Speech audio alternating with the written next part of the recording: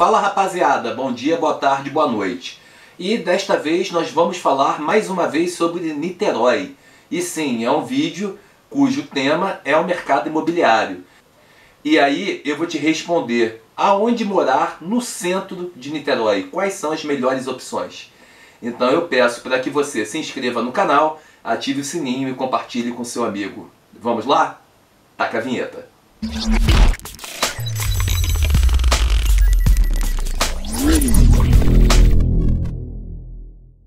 Bom família, volta e meia me perguntam aqui no canal né, sobre onde morar bem em Niterói. Né, eu tenho alguns vídeos cujo foco é o mercado imobiliário, é onde investir, né? Também tem um vídeo onde eu dou dicas para corretores de imóveis, vai aparecer aqui no card. Então eu tenho algumas opções aqui para quem curte esta área literalmente do investir em imóveis. E eu acho muito bacana o retorno que os vídeos sobre Niterói estão dando. Né? Eu moro em Niterói, é, conheço bem a cidade, trabalhei como corretor nela, né? então eu acho muito legal quando alguém pergunta, ah, fala sobre o centro, fala sobre Pendotiba, fala sobre região oceânica, volta e meia me procuram também no Instagram para tirar dúvidas. Já aconteceu N coisas bacanas a respeito.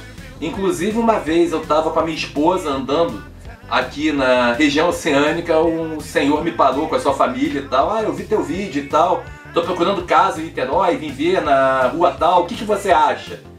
E aí eu na época eu até falei, olha, não é a melhor, mas também não é ruim. Né? Então a gente acaba meio que ajudando as pessoas que estão né, investindo no sonho da casa própria. E hoje eu vou responder uma pergunta, né? Eu vou começar a responder os inscritos que eu recebi tem aí acho que duas semanas, que era aonde investir no centro de Niterói. Né? No caso, a pessoa me perguntou: vale a pena morar no Graguatá? Bom, vamos deixar bem claro: Graguatá e São Domingos, digamos assim, entre aspas, são sinônimos. Então, quando eu estiver falando de Graguatá, né? Ou São Domingos é a mesma coisa, tá? Vale, vale muito a pena investir no Graguatá. E para mim, sendo bem sincero, rapaziada, é o melhor bairro do centro. Né? Por que é o melhor bairro do centro? Bom, o Graguatá está a 10 minutos a pé da Estação das Barcas, a 10 minutos a pé do terminal rodoviário, é longe da muvuca do centro da cidade, ou seja, é, todo o centro né, ele é bem muvucado, o Graguatá ele não é muvucado, e o mais bacana é a vida noturna, ou seja, no Graguatá o cara né, tem ali ótimos bares, ótimas opções de lazer com música ao vivo, inclusive a Praça da Cantareira, que já recebeu ali bandas como Cidade Negra, é, Nat Roots e tantas outras bandas de reggae, tinha muito evento de reggae ali antigamente, né? É, tem os campos da UF perto, então tá ali, né, a Praia Vermelha, tá o IACS, que é o campus de comunicação, tá o campus de geografia. Rapaziada, é a área ideal para o estudante, para o jovem. Né? E Gravatá ou São Domingos, ele tem um apelo muito boêmio.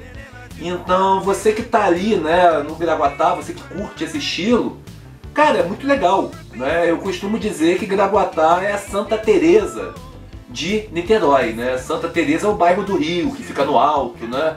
Onde tem a boemia, onde tem um bondinho, né? Então aquela galera vai para lá para curtir a boemia. E Graguatá é bem parecido, só que é o bairro plano, né? Não está no alto. E eu acho muito legal, muito legal mesmo. E vale lembrar que a atriz Sônia Braga, ela tem uma casa no Graguatá, né? Então ela mora no Graguatá. Então é uma área que para mim é uma das melhores áreas de Niterói para se morar. Né? E uma área central, tá ali colado nas barcas. Agora, no centro do centro mesmo, né, ali onde tem a Estação das Barcas, o Plaza Shopping, é, o terminal rodoviário, rapaziada, eu vou ser bem sincero, eu só moraria numa rua, tá? Que é a rua Doutor Celestino. Mesmo assim, eu não acho uma rua tão legal não, tá? Quero deixar bem claro. Eu acho que ela é uma rua muvucada, dependendo do ponto. É perto do Morro do Estado, então você tem vista para uma comunidade que, de certa forma, é violenta, né? É, hoje eu não posso dizer, mas na época em que eu estudava ali perto, eu estudei jornalismo na Estácio, É, volta e meia eu tinha que voltar para casa por causa de tiroteio. Então, tipo assim, eu moraria na Doutor Celestino, lá pro final, né? Chegando ali na altura do Hospital Antônio Pedro. Porém, quero deixar bem claro, né?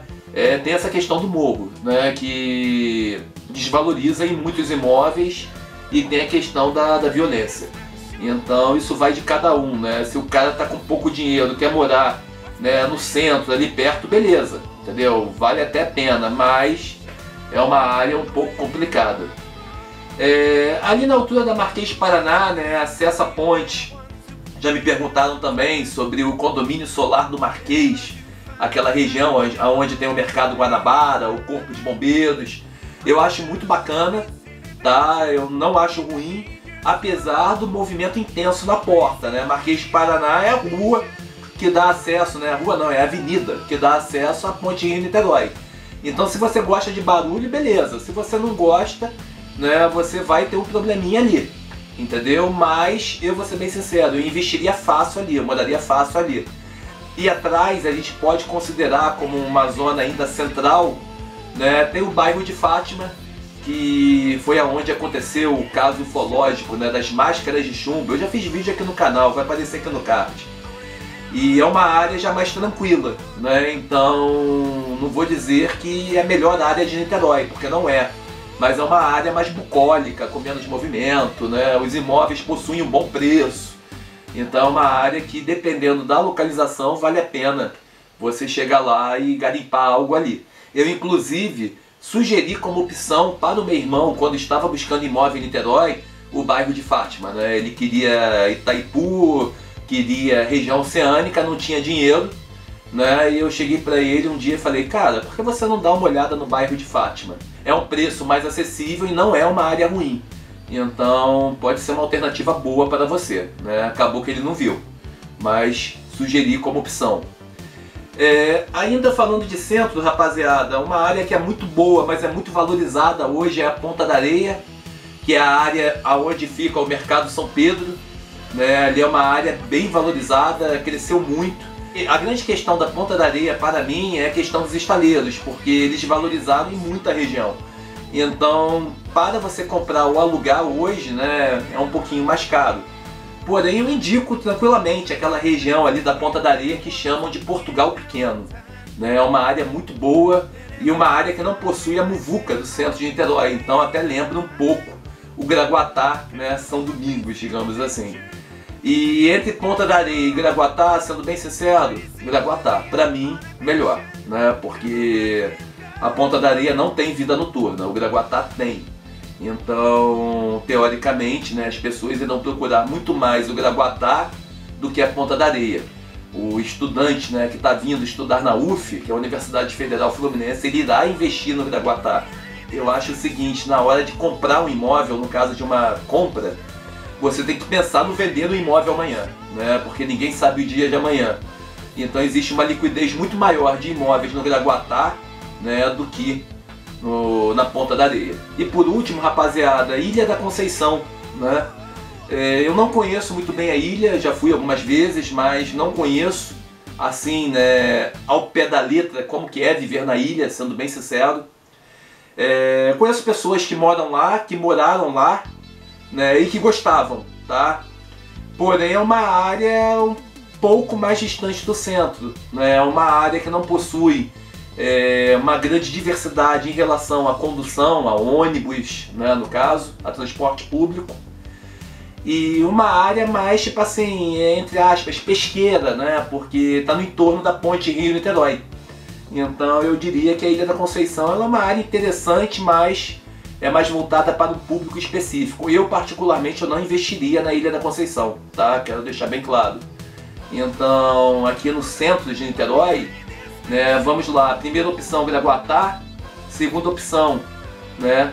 Eu ficaria em dúvida entre a Ponta da Areia e o bairro de Fátima. Eu iria, se eu fosse escolher, né, eu acho que eu iria mais para o bairro de Fátima, por conta da questão né, da condução, do transporte público. Então, bairro de Fátima ali, aquela região, Marquês do Paraná para trás, né, digamos assim. E Ponta da Areia e Ilha da Conceição. Morar no centrão mesmo, Rapaziada, eu só moraria na Doutor Celestino, tá? Sendo bem sincero. Então nós temos, né, Avenida Amaral Peixoto, Rua da Conceição. Ali tem muito prédio que é misto, né? Então é comercial e residencial ao mesmo tempo. E tem, né, situações ali que são complicadas, como por exemplo a questão da prostituição, né? Então muitos prédios, né, acabam sendo, digamos assim, pontos de prostituição. Muitos apartamentos ali dentro, né? Como também você pode ter um apartamento ali, né, e ter como vizinho um advogado que você vai ver só durante a semana, porque tem também escritórios, né, comerciais. Então, centro, centrão mesmo eu não investiria. Tá ok? Aquele grande abraço e até a próxima. Tchau!